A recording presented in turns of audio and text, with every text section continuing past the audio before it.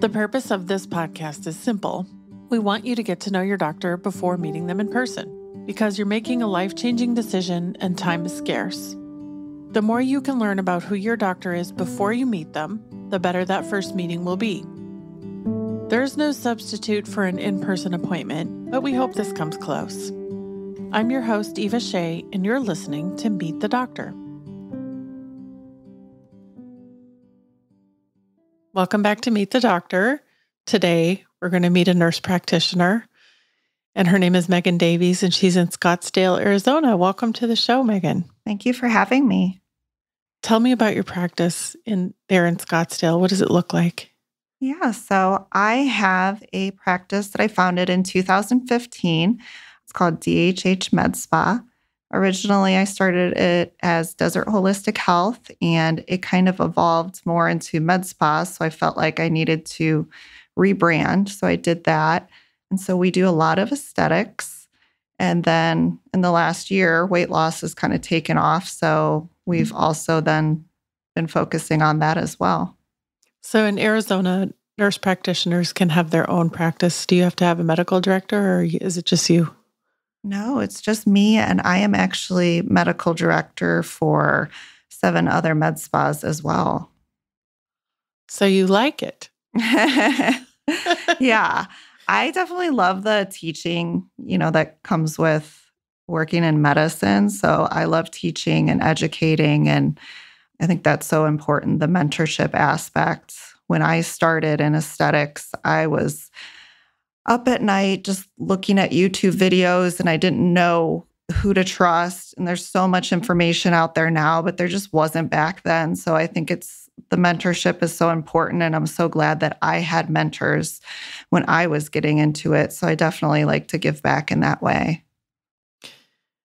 How did you start out? And then how did you end up in aesthetics? My nursing career started 20 years ago, and I started in the hospital. Then I was a hospice nurse. And then I went back to nurse practitioner school and graduated in 2013. And I thought I was going to, well, I had an interest in dermatology and I thought maybe I could get into it. But as I went to school, I realized dermatology was more so, there was a lot more programs for PAs versus NPs. And really, the only dermatology program was in Florida. I wasn't willing to relocate. And there wasn't a lot of on the job training for nurse practitioners. So I did a dermatology rotation locally. And I did just feel like I probably couldn't get my foot in the door. I was still going to try. So I had that interest. And then when I got out of school, I worked at a practice that was more integrated we had a chiropractor and a osteopathic doctor and a naturopath and we had a nurse injector as well. So i kind of got to do it all. We were a primary care office but very focused on hormones and weight loss and did some of the aesthetics. So i got a nice mix there and definitely learned a lot and then went off and was a medical director for a med spa for a short time. And that's where it kind of got a little crazy. I was working for a chiropractor that owned the med spa who told me she injured her back and that's why she wasn't practicing. But I found out she actually was in some trouble and was fraudulently billing insurance. And so at that point, I just felt like if I was going to do the right thing. If I was going to keep my license, I had to own my own practice. So that's what I did in 2015. It's never like, I dreamed of being my own boss for my whole life and I'm going to do it. It's always like some crazy thing happened and you're like, I'm going to do it. now I have to. I know. I knew I could be an amazing business owner. At the same time, I was like, I know I'm the kind of person that's going to give my all, and that's good and bad because I'm going to drive myself crazy with being up at 10 o'clock at night thinking about the business. So I knew that about myself. But how did you get good at injecting? Do you remember what you went through to get there? Yeah, I remember my first training. So locally, I went to another nurse practitioner who had her own med spa and she was supposed to give me a manual in advance, and I guess nobody did. I went and paid the fee, and I was supposed to study in advance, and I didn't get that.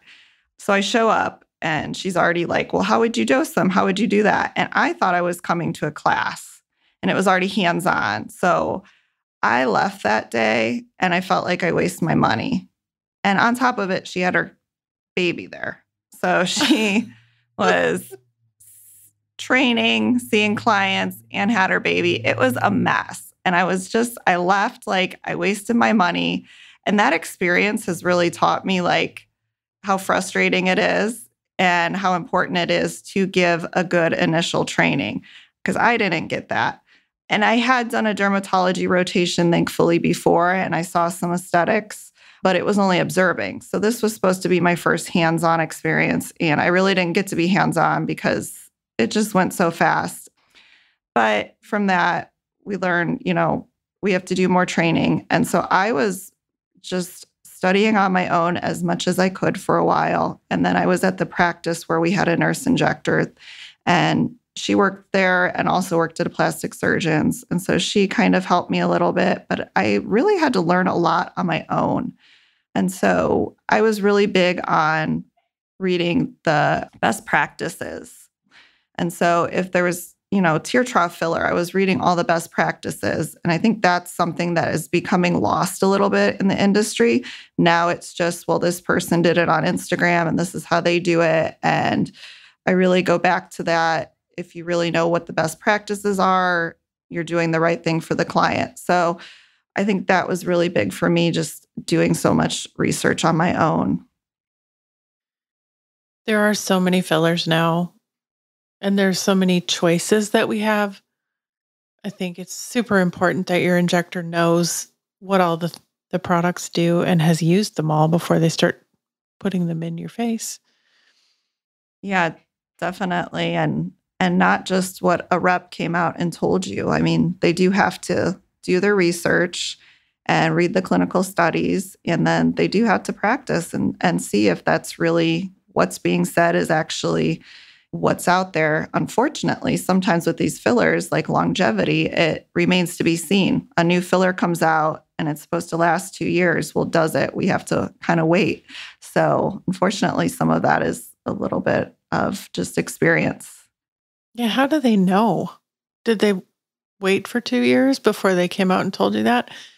Yes, there's definitely some studies where it sits in a test tube. So that's hard too. And I tell my clients. Oh, that's what they mean?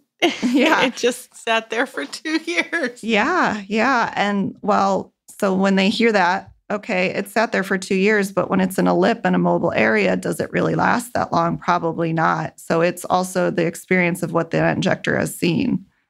Oh, that's really interesting. Mm-hmm. What do you do when you get a new product? How do you start using it before you take it to your patients? Yeah, so it depends on the company.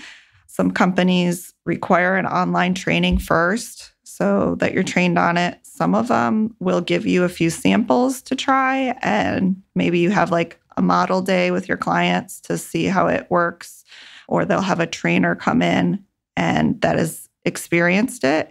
But there are definitely some companies that it's just you have to purchase it and play around with it and see, and it's a little scary. Do you take a usually a pretty conservative approach then to to brand new products when they're in your hands for the first time. Definitely. There are many products that have came out that I did not even bring into my office and I'm like I'm going to wait a few months, let's see what everybody else does and mm-hmm. you know, I think that's a really smart approach to just see what everybody else is doing. There is a website called RealSelf and sometimes Oh, I used to work there. yeah. sometimes like seeing what the reviews are after a few months with the new product and seeing what the consumers are saying too, that kind of helps. Mm-hmm. That's a great point. Reviews anywhere that you can find them are are helpful, and then asking other people. But so let's do the flip side. There's other products that have been around for a long time that you trust and love. And do you want to tell us kind of how you think about those ones? Yeah. So I love, I would say Sculptra for sure. That's one of the most common products that I use in my practice. And Sculptra is not a filler, it's a biostimulator, but it's been around for a long time. And it's still evolving. Like last year, they came out with a way to immediately reconstitute it. And before we had to mix in it in advance, let it sit for a few weeks. And we didn't know it. Still, I think there's going to be things that we learn about it and new ways to use it.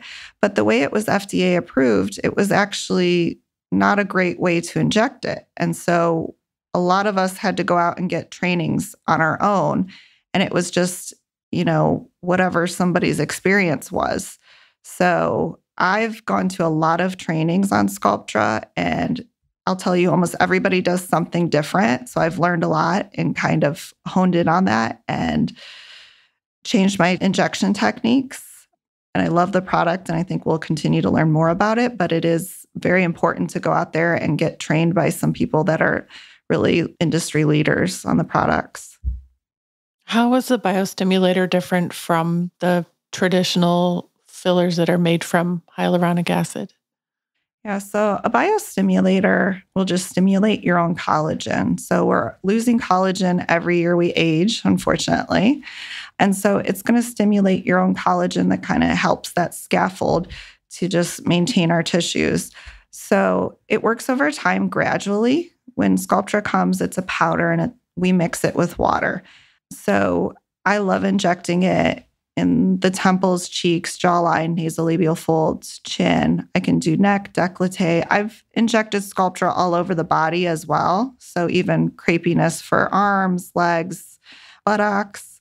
You can use it anywhere. So it's amazing. So it is more gradual. And so people who want that instant gratification, they probably will start off with fillers, but long term, this is going to also work on your skin quality and texture. So, skin is going to look great. So, most of my clients are willing to wait, and it's going to take a few months to really see the results.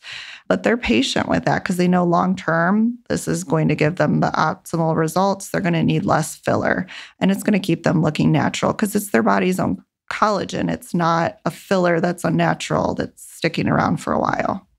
Is it possible to put in too much Sculptra or does it not work that way? I have not seen it. I'm sure some, I'm sure there's somebody out there that overdid it. Um, I guess it's possible, but it would be really hard to overdo it and I've not seen it. Do you ever have to do more than one treatment to get it where the patient wants it? Yeah. So typically I do a series of three and it's spaced five weeks apart. So there's a rule of fives with Sculptra that makes it really easy. So after Sculptra, you're going to massage it five minutes for five times a day for five days. If they ask you how many vials are they going to do, they're probably going to do five vials total over this series. And their full results will be seen in five months. And how often are they going to do treatments? Every five weeks So all the fives. That's a lot of fives, actually. Yeah. Okay, so you do Botox, you do fillers. I'm using Botox as a catch-all, like Kleenex yeah. for everything. Yeah. And Sculptra. What else? Do you have devices there? Yeah, we do. Let's see. We've got Ultherapy, which is a great option for non-surgical lifting and tightening. It's been around for a really long time. We've got the Pixel 8, the microneedling with radio frequency. Love that. And then I have Agnes RF, which is like a precision mic RF device that treats eye bags and can lift, can dissolve fat. So lots of uses. It's also my grandma's name. yeah, the maker of it, the maker of it said he was trying to get the name as he wanted like a woman's name, but as close to acne as he could get. And so he pit, picked Agnes. Um, okay. Because um, that's one of the uses for it. Where did you hear that story? That was Dr. On. He is the creator of Agnes. Yeah. Oh, I learned something new every single day. so good. and th- isn't the Agnes known for being really effective at under eyes? Yeah, it is really like the only thing non surgically that you can do to remove eye bags. And that's the original reason I bought this machine. I got an email and I was like, wow, this isn't something I can do non surgically until now. But I do have to say, there is a, still a significant amount of downtime because people tend to get some black eyes from that. So just planning it out can be hard. How long does that last? The black eyes. yeah. I mean, it just depends on the person, how long they take to heal. We have an amazing post injection serum that cuts your bruising in half by Alastin. So I highly recommend getting that. So, you know, a week or two, depending on the person. What is in that Alastin that it, it's like magical? It's proprietary, but there is arnica. But I went hiking one time and I got a huge bruise on my butt from falling. And I put that on and I couldn't believe the next day. Like, such a significant difference that I was like, I have to have this in my practice. I wasn't even carrying it, but I was like, I have to have it. Okay. So, did we miss any devices? And you said Alastin.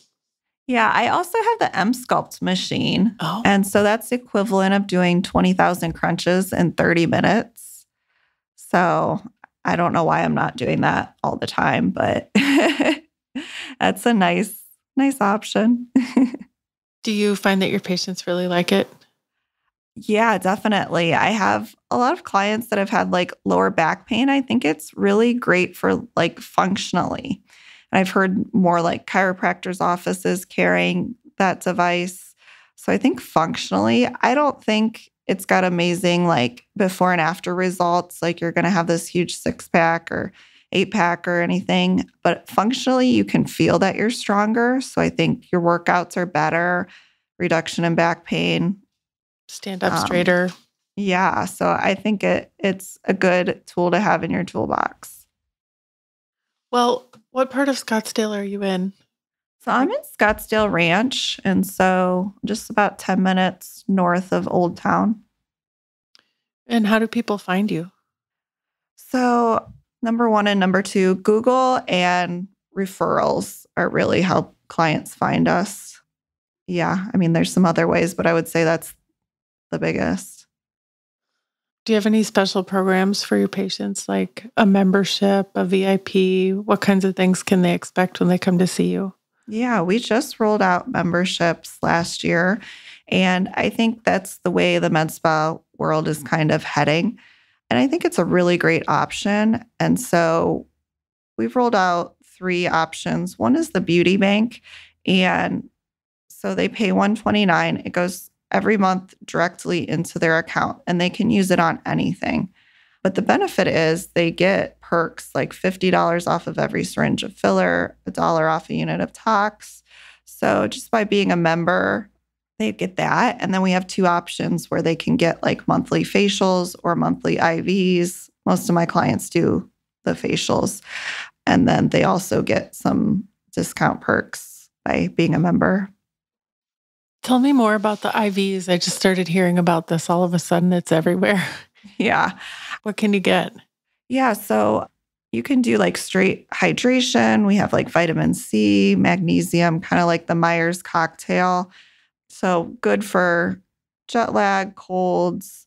This was one thing that I see a naturopath kind of as my primary care at physician. And he's like, you know, you have access to these IVs. Why aren't you doing these all the time? And I'm like, I should be. And I think when I haven't done them for a while and I do it, I just feel better, just a little bit energized. So I think it's a great option to do. And that's something that our clients can like hook up and do during a facial, even during their fillers. So it's not like they have to sit there and just get an IV. So they can multitask. Yeah. I was at a six year old's birthday party a couple weeks ago, and my friend said she got really sick during break. And the mobile IV guy came to her house and she's like perked her right up. The next day she was fine. Yeah. go to your house. yeah, there's there's so many of those companies out here and I was just telling yeah. our oh. client yesterday this story about me saving the bachelorette party because I was having a bachelorette party at my house and we were at the pool during the day and unfortunately, the bride to be got sick, and I ran to my office and got IV supplies and went back to the house, and she was able to rally and still go out that night. So they make a huge difference. You're the person everyone's going to want at their bachelorette party from I know. I'm on on call 24/7. Yeah, that's incredible. Okay, so I have to ask you, what do you like to do when you're not at work? I am really big into dog rescue. I've got three dogs of my own. So I love to do things with them, taking them to the park, hiking, but also like being involved in the community and just like events. I've met some wonderful people. I've been able to raise so much money for dog rescues. And I just, I love posting dogs that are available. I have so many clients that because of me, they've adopted versus purchasing a pet. So that's a big part of my mission with my office, my business is giving back and spreading awareness. So that's huge. So if we have an event, it usually is to raise funds. And I always offer, like, always have the option of clients dropping off products or like anything that dogs need in the office. So we'll get like a bag of towels and we'll go donate it. So just really big on giving back to the local rescues. That's great. What kind of dogs do you have? I have a pit bull, I have a Frenchy Boston mix, and then a white terrier mutt everything mix. That's a lot of personality, all yeah. three of them. Yeah. okay, so if someone's listening and they want to come see you uh, in the office, where should they look for you online? Yeah, dhhmedspa.com. We're on social media and we have online booking or our phone number accepts text. So there's lots of ways to get a hold of us. I can't believe I forgot to ask you about this. So we're going to have to you're going to have to give me two more minutes. Okay. One of the things that I want to talk to everyone about right now is what's going on with semaglutide and tirzepatide, and specifically why we should consider going to a med spa or nurse practitioner in person for this service when it kind of looks like you could easily get it online and just order it and have it show up at your house. Yeah, definitely. So I had completely gotten out of doing weight loss for a while. I got really busy with aesthetics. And then one of my best friends got on the semaglutide. And I decided to get into it again.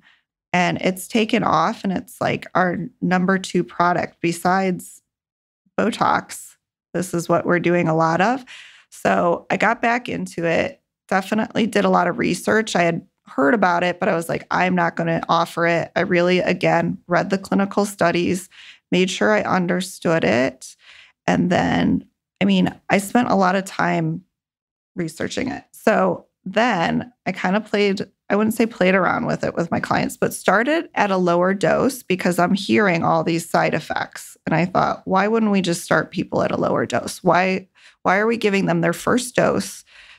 With a medication that has a half life of a week, and these people are sick for a long time. Why aren't we starting them lower? So I decided to do that with a couple clients that were familiar to me. And we started low, and I realized, okay, like we actually can mitigate these side effects a little bit.